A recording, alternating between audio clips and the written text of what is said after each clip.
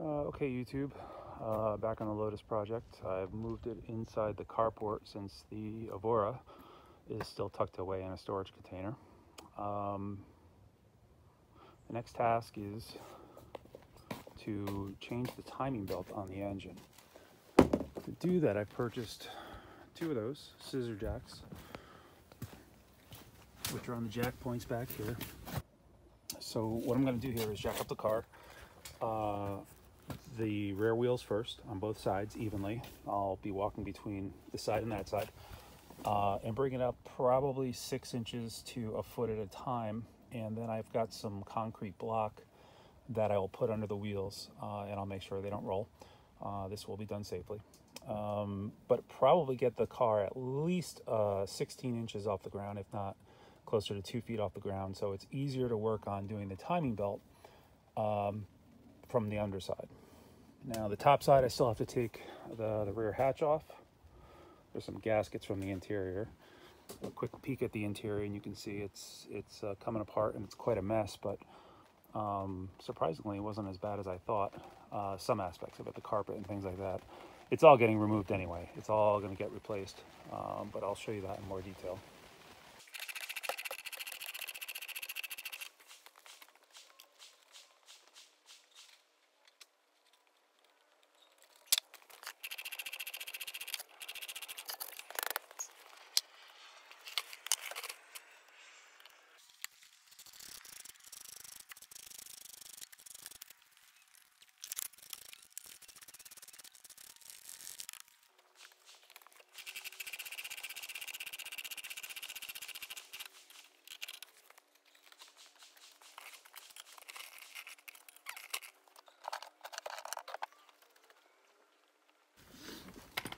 Work smarter, not harder.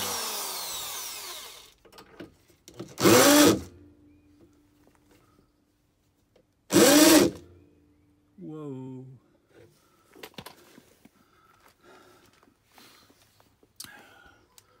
Whole car just shifted.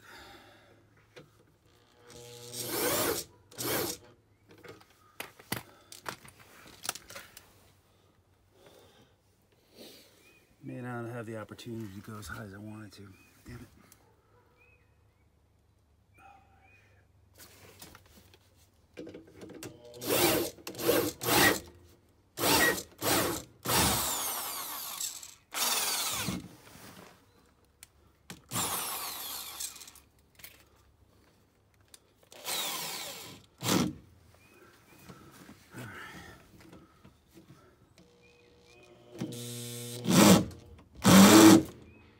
Nah, the whole car's moving.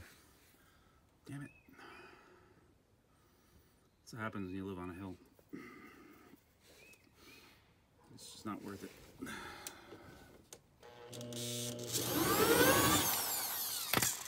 I think of something else here.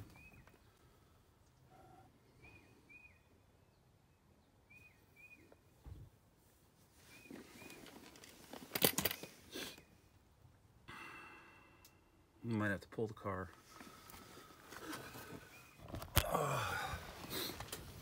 So I might have to pull the car out. It's supposed to rain today, so it won't be today. But pull the car out and uh, situate it on my driveway somewhere else where it's flatter uh, and do this portion of it. Um, I, I don't want to play with it further as far as jacking it up. The the whole car is sliding down the hill, and it's a, it's a it's a it's not a big incline here, but uh, obviously big enough for a uh, 2,500 pound car to uh, to want to creep downhill on me. So I'm gonna drop it back down and uh, rethink this. Okay, so holding the hatch on each side, I see three bolts, uh, all 10 millimeter. So I'll loosen those up, get them ready so that when I have more help,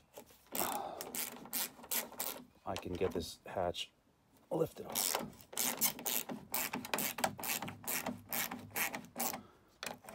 It's pretty heavy, so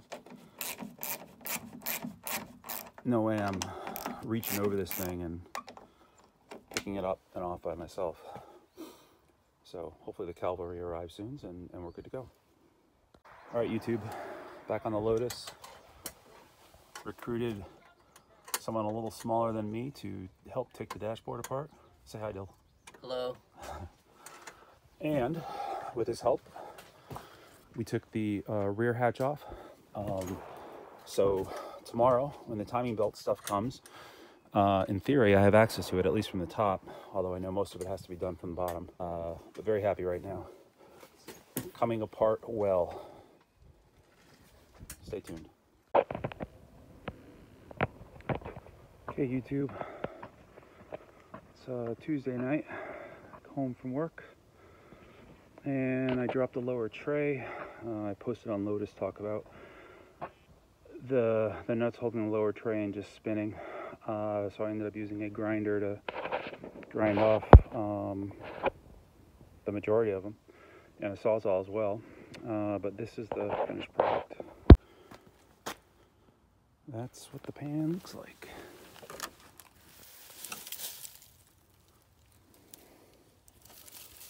Now a bit chewed up there.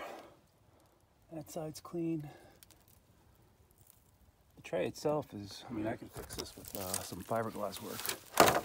It's in good shape, but it's been sitting for quite some time. Kind of afraid to stick my hand in here. Hold on. All right. Now I'll sift through the debris. Now, tarantula jumped out at me. I might have to burn this thing. It's just a big mess.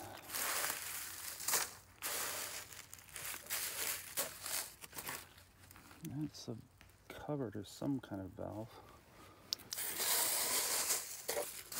Mud wasp nest. What? Sure. Anyway. For you existing Esprit owners, um, are these panels supposed to be cut out like this? Those holes, those openings look too smooth for someone to have just taken a saw to them, so I'm assuming they're supposed to come out. Uh, is there any kind of insert that's supposed to go in there? Let me know. Other than that, the panel looks decent. Clean it up, maybe a little bit of fiberglass work, paint it black. We'll be good to go. All right, YouTube. I am under the Esprit. Directly in front of the camera is the pulley, or the uh, uh, crankshaft, which of course has a timing belt on it, which is what I want to remove. Uh, before I get to that, I need to find out what we're dealing with with the engine here. I need to uh, put a 19 millimeter socket on this uh, the bottom crank and turn it clockwise. Let's see, turn it clockwise facing the engine. Yep. Uh, so that's the uh, the camshaft right there um, with the timing belt and the three other belts. Um, what I, I've got the car in neutral right now. It's jacked up, but it's in neutral and the parking brake is on. Uh, so this is a so this is a key moment. I'm going to uh, put 19 millimeter socket on that thing and turn it clockwise. And the hope is that it turns freely. Uh, so stay tuned.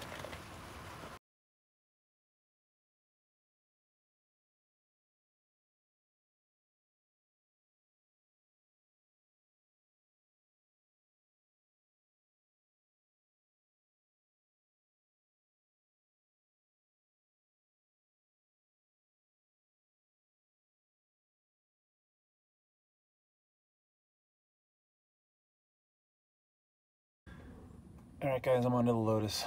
Uh, the belt, timing belt, is basically ready to come off with the exception of this bottom pulley. Um, what I've done is I, have wrapped a ratchet strap around the, the V pulley itself. and I can't really get it to focus. I'm so damn close to it. Uh, and what I've done is I've secured that ratchet strap over to the, the uh, frame over here so that when I put the 19 millimeter bolt on that center pulley and I turn it, uh, it might turn a little bit, but eventually it's going to stop. The ratchet strap should hold it in place. Uh, all my attempts thus far to break that bolt free have been in vain. Uh, and as you know, the car is up off the ground and I'm under it. So uh, I don't really want to play with it too much while it's in gear. All right, here goes nothing. Wish me luck. Okay, ratchet pulley idea not working. It's so tight. Watch that strap actually flex the steel frame. So that's what I'm dealing with. I gotta get to the transmission, see if I can hold it from spinning there.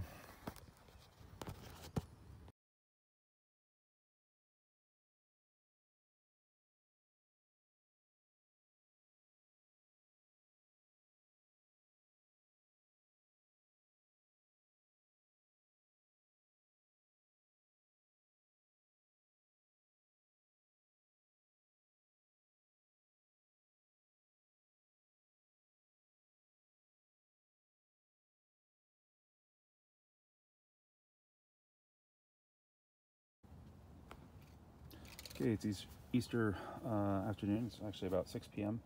It's like 40 degrees here. Uh, pretty cold for Easter. That's the tool for the puller that I got from Amazon. Uh, ordered it yesterday. Came today on Easter, which was unusual, but I'm going to give it a shot. Uh, if this puller doesn't work, uh, I don't know what's next. Uh, I'll call Lotus in New Jersey and ask them what they recommend. Wish me luck with this thing. All right, so the problem I'm having is I think this tool could potentially work. Uh, the pulley, it's just that you need two hands. Uh, and though I have two hands, there's no way I can get both hands up there. It's just too tight of a space. If I were working on a lift or I was fully extended, I might be able to, but right now I'm stuck just using one hand. And every time I try to center that bolt, the whole thing just slides left and right. So maybe what I'll do is get some zip ties, secure them around this the, the base of that thing so that the, the arms can't slide up and down. And that'll, you know, that'll give me the best possible chance of centering that uh, screw on the, uh, the, uh, the crankshaft bolt uh, that's rethreaded in there loosely. Let me try that. All right, progress. Using tie wraps. I was able to secure it at roughly the size that it should be, and I guess pretty good. Um, I was able to use one hand to now finger tight that, and it's actually applying a little bit of pressure, just finger pressure, uh, because somehow I have to figure out how to get my hand down there. You can't even see that way. Let's see. Let's do this. All right, I gotta figure out how to get my hand down. Let's see. Hello. Down there. Get a wrench on that. That's either 9 16ths or a half inch. Uh, in order to put a little more tension on it. Right now that center bolt is just centered on the uh, flywheel uh, center bolt. Uh, so I don't have a lot of room for error. Uh, it could just pop off at any moment. So I'm going to turn it slowly, start applying pressure, and see what happens. Wish me luck. So this little hole over here, I'm actually, I, I get under that, I look up so I can see what I'm doing. My hands are through here, all the way back there with a wrench, slowly turning that nut, uh, or the bolt, I'm sorry, on the end of that that pulley puller. Um, so it's it's it's really not a, a, convenient space to work in. Uh, definitely something you'd rather do with lift or even better with the engine out. But uh, uh, yeah, making progress. Very happy. Okay, guys. Uh, that crack right there is actually widening. I've been tightening the pulley and it got slack for a moment and so I thought I had fallen off the center main bolt, uh, tightening it, but it's still on there. Uh, and I tighten it some more and the, the, the crack is definitely widening. So the, the pulley uh, with just a little bit of coercion, uh, with some pressure uh, on the on the puller, and then just tapping it gently with a. It's actually a small child's hammer. Actually, I bought it for my son, you know, 15 years ago. Uh, I'm using that, and just by tapping it, it's it's working its way off. So this is fantastic. That's great news, uh, because if this didn't work, I didn't know what was next. Success. It worked. The pulley did. This should be, oh, there we go, off with just the center bolt holding it in a thread or two. Uh, I've been reminded that there's a washer on the other side of this to keep note of how it comes off. I'm not seeing it, which means it's gotta be up there. Let's see. Uh, it's got to be in there. Using uh, that Amazon pulley um, with these tie wraps to set it roughly where it's supposed to fit, I was able to get this guy off finally. And notice number and everything. And honestly, um, a little advice is it didn't take much pressure at all. Uh, I could see someone railing on this with a hammer and it not moving an ounce. Uh, but the, the minute you apply even pressure, uh, it came free with very little effort. You know, I started torquing that down and it jumped. And then I was able to use the hammer to sort of tap it along the way. Um, but definitely get one of these twin pullers. Uh, if you've got a lift, this should be a, a relatively straightforward job. Without a lift, you, you can only use one hand because you're so close to the car uh, that it becomes a, a, bit of an effort as it was for me. Um, but I'm happy. Uh, there's nothing holding the timing belt on now. In theory, I could take it off. In theory, I could put the new one on. In theory, I could turn the engine over by the battery for the first time ever. I'll be very happy. So the engine's at top dead center. Uh, I just got the bottom crank pulley off. So that means there's nothing holding the belt on anymore. Uh, I've marked the belt as well as as well as the exhaust and the uh, intake uh, cams, uh, the sprockets, and then I've marked them against the body of the vehicle itself. There, and the light doesn't show it, but that one's marked too. Um, so I'll mark, I'll put marks on the new belt to match the old belt marks, and that should make it easier as far as determining if I'm off a tooth anywhere. Let's take it off. Okay, this is what a good day of wrenching looks like. I use this tool from Amazon. Um, put tie wraps on it to roughly get these where I wanted them. This is the puller I use to get off the bottom pulley crank uh, that's on the, uh, the, the crankshaft. This is the bolt. It's there. Uh, to get this guy off, which then allowed me to pull down tension on the timing belt. Um, and I was able to loosen up the, uh, I was actually able to pull the timing belt enough and it got pinched so that it held the uh, timing uh, belt tensioner and that I was able to slip the belt off the bottom pulley and then once I freed it, it, it released. I was able to get the belt off and then just a couple of uh, it was just a bolt that was holding this guy on. This guy definitely needs to be replaced. It's a little rough. I could feel it. Uh, the belt itself, I marked it throughout so that I can transfer my marks to the new belt. Um, how does it look? Did it need to be changed? Probably, yes. Those are probably some cuts that I put in it when I was uh, pulling it off. Um, but there, there are some wear marks here. Let's take a look. Some burrs that are, uh, there it is, popping off it. Um, so, I mean, it, it, it's probably due, even if I bought the car from the guy and it was running, um, my guess is it was, uh, it was due for uh, a service anyway. Uh, now it's, uh, now it's to happen. So I've got the, the new Gates belt and tensioner. Um, they came in from JAE. Uh, and tomorrow, um, I will be working to start putting those back on. And I'm super excited about that part because that'll be the first time, once that belt is on and all the components are hooked up, that I will put the key in the ignition and turn it over for the first time to see what happens. Um, I turned it over by hand. It turned just fine. I'm very happy about that. Uh, but I want to see how the electrical system is, and I want to hear how it turns the engine over. And I want to do a compression check on the cylinders to see what we get. So I feel like it's a, a when you run a road race and you you hit the halfway mark, uh, and you kind of like, oh my god, I got another half to go. But at the same token, you're like, I got half of it done, and that's what I've done so far. I'm halfway there. Thanks, guys. Okay, guys, I just want to point out a few tools that were uh, super helpful.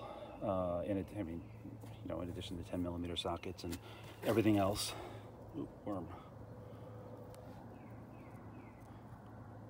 With the worm. Save the worm. There we go. Uh, so, in addition to all the other tools that I used, uh, this little hammer that I had given to my son when he was much younger was tremendously helpful in just gently tapping the uh, lower crank pulley to slowly work it off when this guy was applying pressure. Now I had purchased a Harbor Freight puller. I had uh, uh, I had other pullers, uh, three prong pullers, two prong pullers. I probably tried about eight different pullers on this vehicle, and this is the only one that got it done. That's the only one you could uh, work with one hand with, uh, thread that bolt at the same time while holding with the zip ties, holding those, those two legs uh, onto the edge of the pulley itself. So that thing was again, I've said this before, I, if that didn't work, I don't know what I was doing next. It was basically going to call Lotus of New Jersey and ask them, and they'd probably say, put it on a trailer and bring it to us. So I'm very happy that I got, I, I purchased that off the Amazon for all of $30 or whatever it was and use that.